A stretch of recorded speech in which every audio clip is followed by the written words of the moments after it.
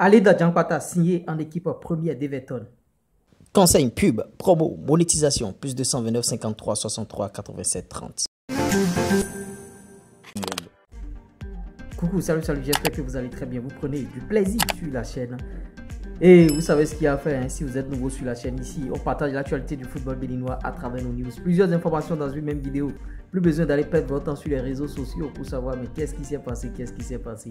Venez tout simplement ici, on a le condensé, on a toutes les informations hormis Ali Djampata. On parlera euh, notamment euh, de Sam Nelly, euh, cette équipe qualifiée en Ligue des Champions euh, au niveau des dates et d'autres informations aussi viendront meubler Jordan Andé aussi et tout et tout. Restez scotché du début jusqu'à la fin. On démarre tout de suite avec Alida Djampata. On l'avait annoncé ici il y a quelques jours. Il n'y a pas de mauvaises informations sur cette chaîne.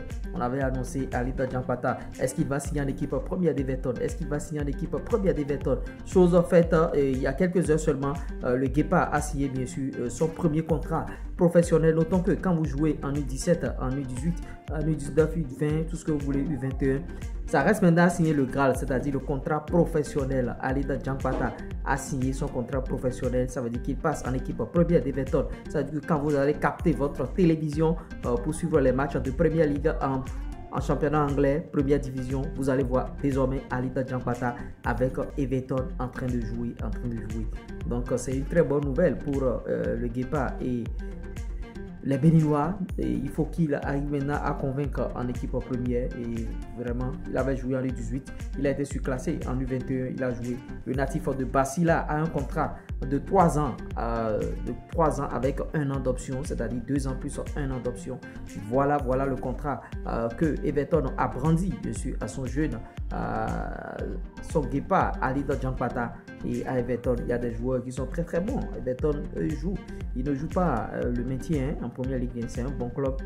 Et il faut le noter. Samuel Eto'o aussi est passé par Everton, notons-le. Il avait quitté Chelsea et tout et tout. C'est un très très grand club Everton.